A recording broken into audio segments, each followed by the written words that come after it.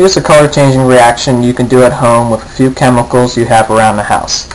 In this reaction, a solution will turn from light blue to neon blue to green to yellow to orange and finally dark brown.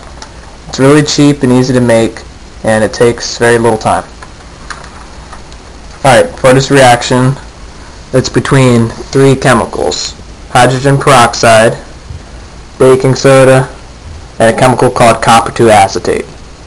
And to make copper 2 acetate, take your glass container and fill it with some vinegar.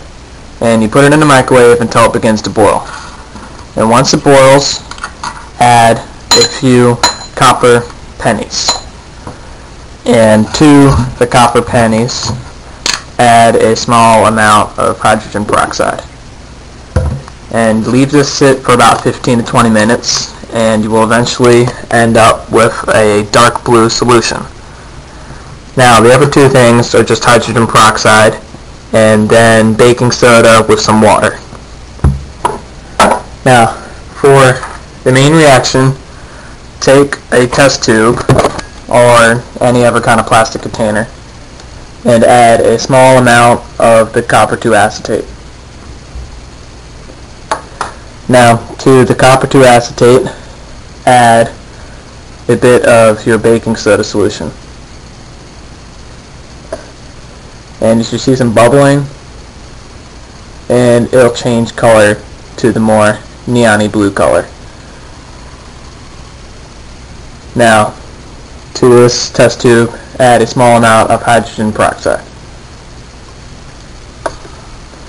And it's now it's green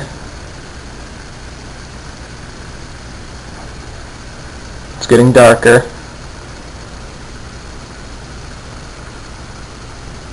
So now it's getting kind of yellowy, orangish.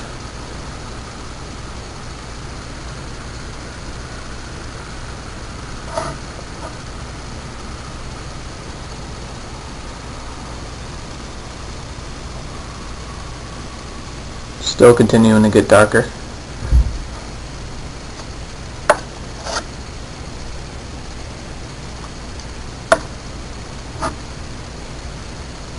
I just added a little bit more hydrogen peroxide. And now it's turning dark brown. It almost looks black now. Alright, that's it. I hope you enjoyed watching this. Try it out yourself. It's lots of fun.